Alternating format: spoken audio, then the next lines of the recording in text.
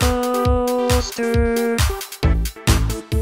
What's up, guys? To clarify what I mean, I don't mean that I want to become the next exact replica of Logan Paul, because no one wants another Logan Paul. What I do mean is, Logan Paul said that he is taking a break off of social media, and that social media includes YouTube, I think. So that means that there's an opening for YouTube for a smaller YouTuber to rise and become big and replace Logan Paul. And that opening, I'm about to snatch it.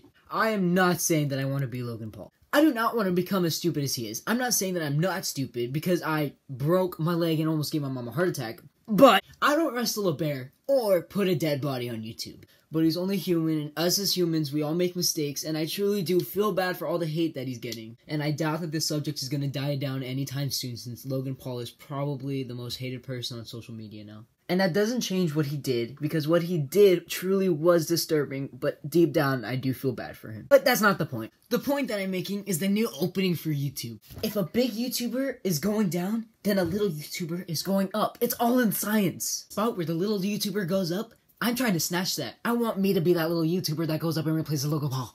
I even posted a tweet about it. I said, Logan Paul taking a break with two of those little thinky emojis.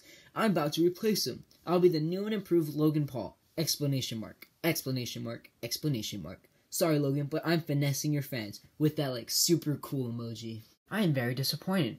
I think that tweet had a chance of going viral. That tweet had over 9,000 impressions, but only 12 retweets and 20 likes.